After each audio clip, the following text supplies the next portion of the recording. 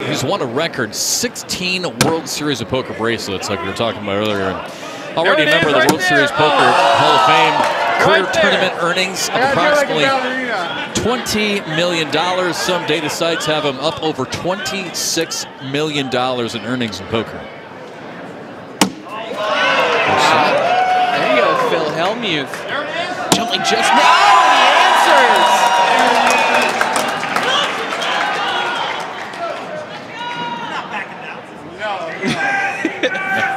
Gotta Phil almost one. feels like he- him and Chumlee are like the the other guys that aren't throwing 10 bags in a row. They're like, we can do this. We got this. Yeah. See if Chumlee's just getting warmed up. Oh. Wow, off to the left. At least I'm hitting it now.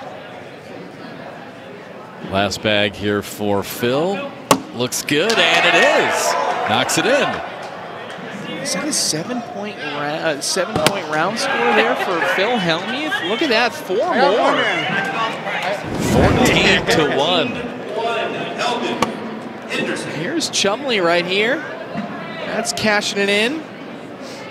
That's not bad form, Phil.